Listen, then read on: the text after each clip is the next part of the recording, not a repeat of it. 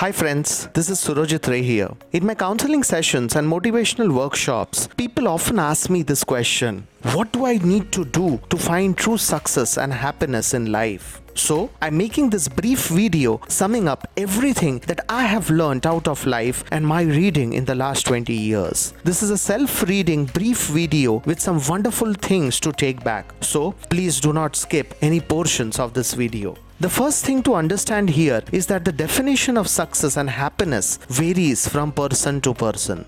Let me give you an example here. I personally know a school teacher who taught all his life in a humble village school. He was a great teacher who transformed the lives of thousands of students. Most of his students rose from their humble backgrounds and became doctors, engineers, architects, chartered accountants, and so on. They all unanimously credited this teacher for showing them the right path during childhood and inspiring them to lead a life full of knowledge, respect, and dignity. Most of his students today hold respectable positions in the corporate world or are successful entrepreneurs or great doctors. It was very natural and easy for them to not study and continue as farmers in the village in which they lived. But this teacher inspired them, showed them the right path, and helped them discover their true potential. This teacher spent all his life in poverty. He joined that school when he was 24 years old. This was his first and last job.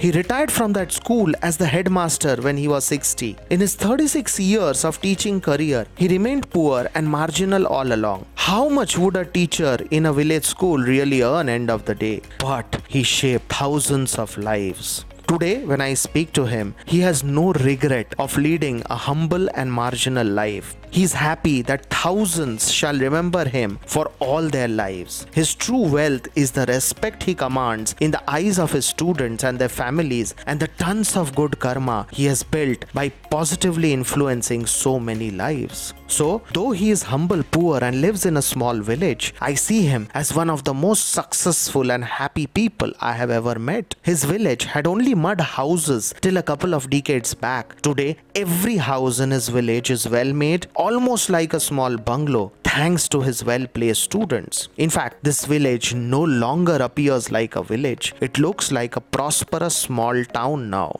Further, a few of his students forced the teacher to move out of his humble home and they constructed a beautiful bungalow for him in which he and his wife live happily today. This humble teacher went on to change the future of a whole village by doing his job well. Now, isn't that true success? Isn't that true happiness? So, firstly, it is very important to define what success and happiness means to you. For Bill Gates or Mukesh Ambani, success and happiness meant being a corporate monarch. For Swami Vivekananda, success and happiness meant spiritual enlightenment. For this humble teacher, success and happiness meant shaping lives and transforming young children into successful professionals. Hence, the first step towards being successful and happy is to figure out what success and happiness really means to you and then working towards it. I list hereafter 25 valuable lessons which I picked up from my life and the little reading I was privileged to do in the last 20 years of my life.